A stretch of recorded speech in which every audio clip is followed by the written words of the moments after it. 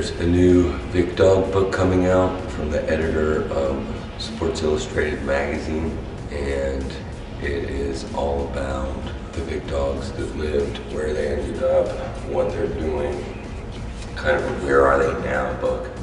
I haven't seen the book, so I have no idea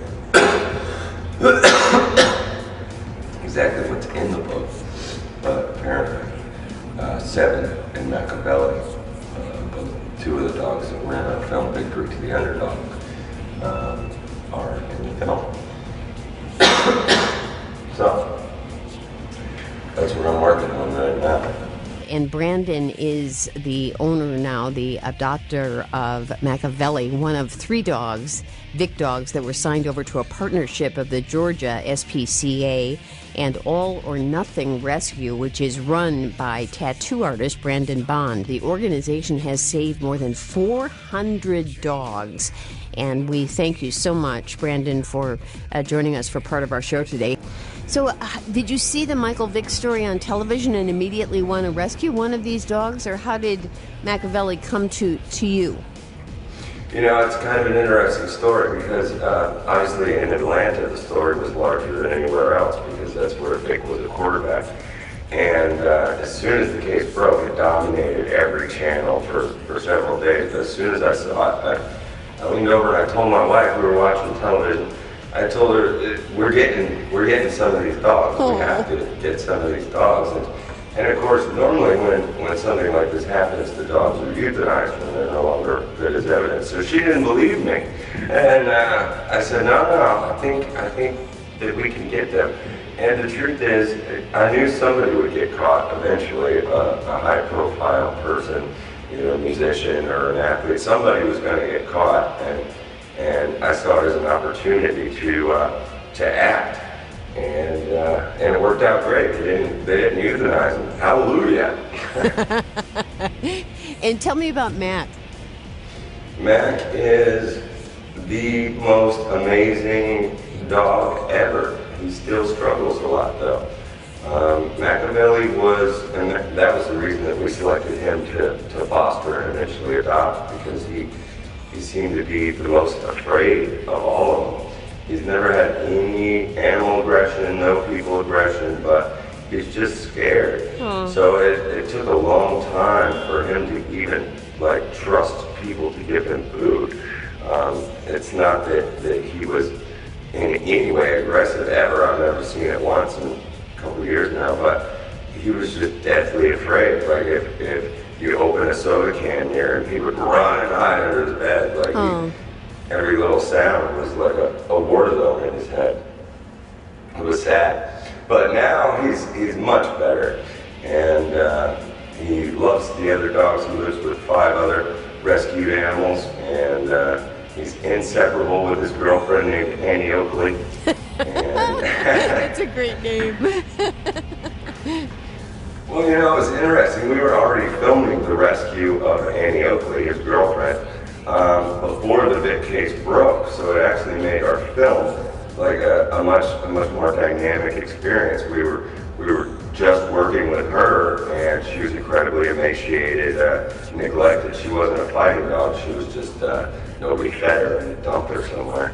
And uh, so all that was happening in the background of the film. Like when the news broke, you can actually see it on the news in the background. Oh. Um, it's pretty cool. Yeah. Good timing. Yeah, yeah, remarkable timing. And Jim, these dogs were all tested. If you outline that process pretty thoroughly in the book, to make sure that they could be adopted, they were looked at very, very carefully. Yeah, the ASPCA sort of put together this expert team, and they went in and they had a whole series of tests that they did, uh, you know, to try and just uh, ascertain the dog's disposition. And then they put them into like four different categories based on what they thought the potential was. Some of them, like Mac, you know, most of them, the most common thing was was what Brandon saw with Mac, just this sort of skittishness and fear. What does this tell us? What is this story of redemption? And I'd like to hear both of you talk about this. I know you've rescued a number of dogs uh, Brandon, so maybe we should start with you. A dog that has, who has been abused, maybe even a dog who's been a fighter, can become a dog who's really a wonderful pet and maybe even a therapy dog. What does it tell us about this breed and our perceptions of dogs that we think are bad dogs. Brandon? Well, you know what I've found is that there there is no no dog on earth that is uh, more astute, intelligent, loyal, protective than a pit bull, and and uh, gratitude is is the number one overwhelming sense that I get from from rescue animals. In the sense that, like I have I have one dog that's not a rescue, it just happened to end up with us and it's full rotten. Whereas all the rescue dogs, every time you give them a bowl of food, it's almost like Christmas Day to them. Oh. It's it's a mirror. It's like they won the lottery twice a day. It's spectacular. Wouldn't trade it for anything. Oh. And I don't think that that dogs, you know, have that sense unless they've gone without. So as sad as it is, it actually ends up uh, making it like they're opening presents constantly. So it's, it's it's a good experience. Yeah, Jim? Yeah, that, that you know, I don't, obviously don't have the first-hand experience, but but one of the things when you know there was the original original magazine story, but when we when it came time to write the Lost Dogs, one of the great things that I felt about that was it was a chance to really get into all that stuff about pit bulls. You know, the history of the breed, Right. where they came from, how they developed, and, and why they've gotten sort of unfairly this bad reputation, and and really sort of trying to expose what these dogs are really about and how that you know if if they're socialized and and raised properly and treated properly there could be the sweetest loving dogs as, as anything else out there and for some reason you know that's just a message that hasn't gotten out to, to most of america but hopefully this will help you know start turning the tide Yeah. Let's take a, uh, one call at least while you're with us, Brandon. Ron in Viroqua. Hi, Ron. Hi, um, I just wanted to say that uh, I inherited a Berkshire Bull Terrier, aka Pit Bull, and um, my uh, partner at the time had moved into a townhouse and she couldn't have the dog, so uh, she asked if I could take her. Well, I lived with my 91 year old mother at the time, and my family was strictly against it, but uh, Ninja Rosie was her name, and uh, she uh, had her tail. She was uh, uh, uh, picked up as a puppy, raised with nothing but love. And uh, my partner brought her over to the house one day when the family was there, and we were sitting in the backyard, and uh, Ninja just went right to my mother, put her head on her lap, Oh. and it was a match made in heaven. Oh. And uh, it's kind of hard. Um, uh, from that day on, um, she stayed with her. I mean, she would sit, she would lay by her side. Uh, uh, she, my mother started to fail in health.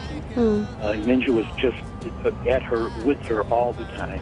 And then uh, Rosie, Ninja Rosie, um, became ill, and uh, we had to put her down in January this year.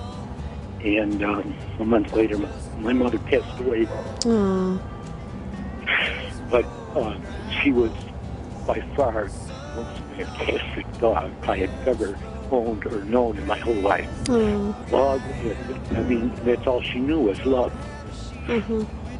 But I just wanted to make that comment. No, I'm so glad you did, Ron. Thank, thanks You for know, the call. People, people have such a twisted idea about pit bull. I mean, all the stories that my family heard were uh, all the bad ones.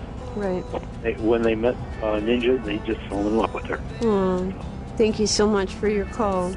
Uh, Jim, do you want, we do have that image of pit bulls. What a story. It's making that, me that- you cry. know, that's the thing. Once once you start scratching below, like the surface of pit bulls, the, the the wall that you meet when you start the topic is all the bad stuff. But once you start poking behind that at all, you hear these kinds of stories over and over again about you know people have these experiences, just not of just being great dogs, but even beyond that. Like you know, there, there's so many people I get these emails and notes from. I'll never own another type of dog than a pit bull, and you know, it, and it, it's out there everywhere. So it, it's sort of amazing that you know it, it takes a little bit of looking, but once you look, you'll find you know something totally opposite to what the general uh, presumption is. yeah, Brandon, I'm sure you have some stories. Definitely. Uh, Ron's story actually is is just like Jim said, amazingly common. Um, you know, pit bulls were originally like the family dog that uh, in in this country.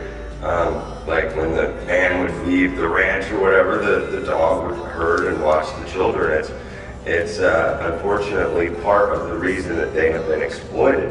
If you look at, and unfortunately, I had to go through thousands of hours of, of stock dogfighting footage uh, Ugh. to make my film.